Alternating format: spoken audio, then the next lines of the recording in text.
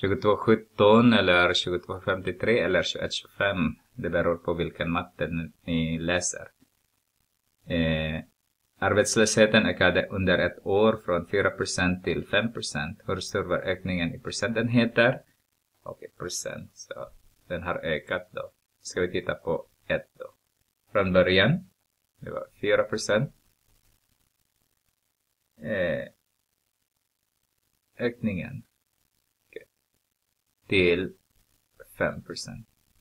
Så har vi 5% subtraherar med 4% är lika med 1 procentenhet. Så. Har vi B. Hur många procent är det? Så har vi gamla värde. Här har vi 4 procent. Och uh, nya värde är 5 procent. Skillnaden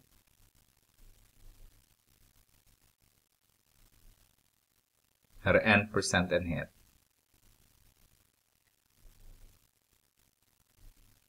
Så nu då, skulle räkna förändringen här.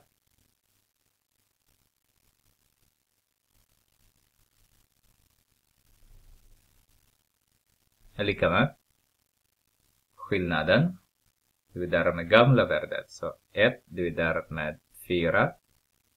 Förlänger jag det med 25. Med 25 så får jag 25 hundradelar. Så får jag 25 procent. Ett annat är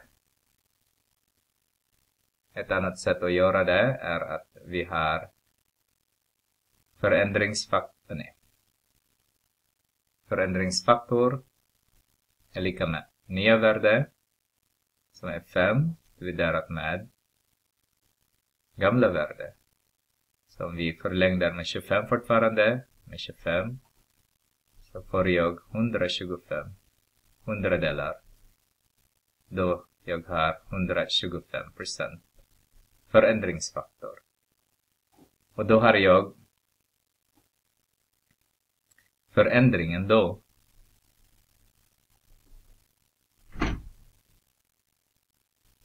så har jag 125 procent. Ni ser min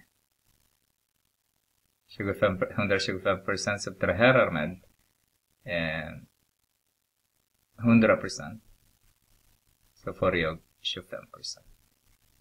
Exakt samma.